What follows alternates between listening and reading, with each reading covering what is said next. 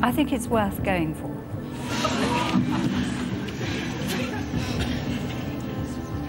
It's up to you. I'm going to say Henry II. There was a little bit of a gamble there, and I could feel inside this slightly insane thing that it, I was going to gamble it. Final answer. Yep. Final answer.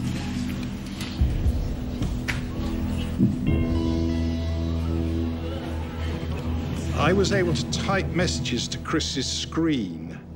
And I typed to Chris, take a break. And I saw a look in his eye down the camera at me. You want me to take a break now?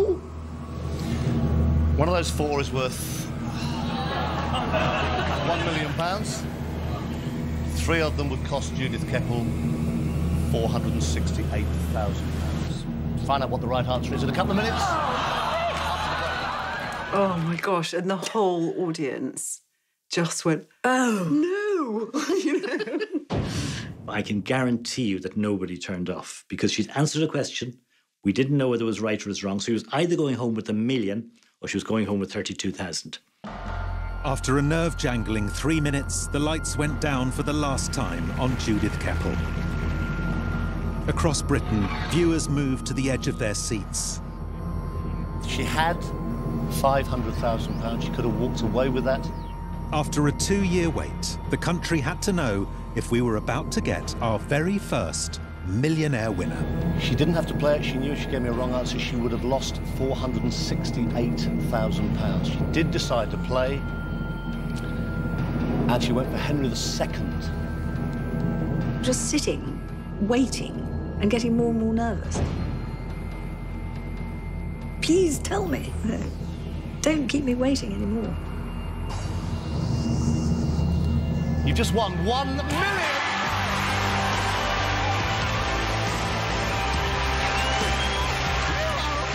He leapt off the chair and hugged me to bits. I was so pleased with it. I was like, so well done.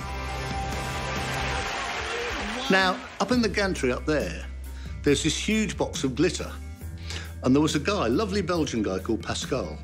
And his job for two years had been on the night it happened to pull the trigger, press the button, and all the glitter would come down. And it just didn't come down. And it's just this wonderful thing. This guy's been waiting for so long for this moment. And he missed it. I don't know why it misfired or whatever. Rosie, come on down.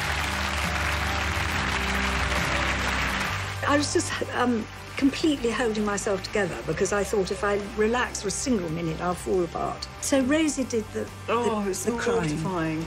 What had happened is sitting in the audience, it was like a pressure cooker. It- I just had to let it out. Come on. Judith, come over here. You look at Chris Tarrant's face uh, when he's giving her the check, and you can see a little bit of relief in his eyes, I think. I was going to think we'd never ever show this. Have a look at this. Pay Judith Keppel one million pounds. Look at that. I'm so impressed with Mummy, actually incredibly Really? proud. Really? Mm. You are so cool. Have a look again. Judith, have a look again. Yeah. Not Rosie. Look, Rosie.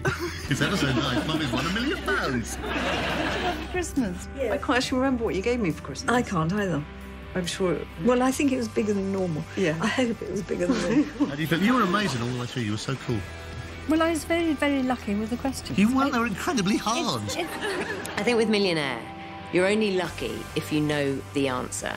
And it just comes down to life experiences because the most random question could be something you're completely familiar with, whereas other people would be like, how on earth did they draw that out of their brain? It's taken two years, over 120 shows now. Judith from Fulham has finally been the first to do it. She's just won one million pounds. And I remember punching the air thinking, yes. At the end of an historic show, the millionaire duck had been broken. And Pascal finally got his glitter button working.